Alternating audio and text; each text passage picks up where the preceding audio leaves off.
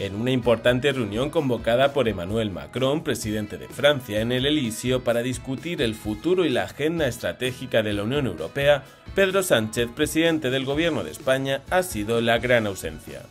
La Moncloa asegura que esta ausencia se debe a cuestiones de agenda, pero no está del todo claro.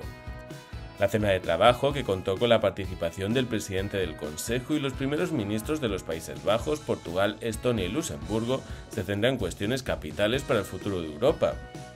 Esta iniciativa seguirá con cenas similares en Berlín, Copenhague y Zagreb. Además, Macron tiene programadas dos reuniones bilaterales este martes, una con el presidente del Consejo Europeo y otra con el primer ministro de los Países Bajos. Una cuestión esencial que se abordó durante la reunión es la reducción de la dependencia europea en cuestiones de seguridad, defensa y energía. En este ámbito se destacan las diferencias entre los gobiernos de Macron y Sánchez. Mientras la Francia de Macron considera la energía nuclear como verde y fundamental para la independencia nacional y continental, la de España de Sánchez ha mantenido una postura distante hacia el modelo energético nuclear. La convocatoria oficial del Elíseo no incluye en su orden del día la reciente guerra desencadenada por Hamas contra Israel.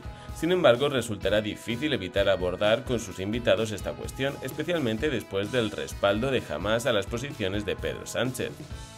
Estas cuestiones hacen creer a varios analistas que Pedro Sánchez no ha sido invitado a pesar de que España ostente la presidencia de la Unión Europea actualmente.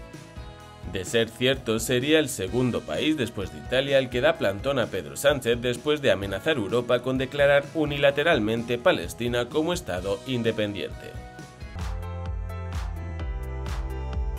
No olvides darle like y suscríbete si aún no lo has hecho.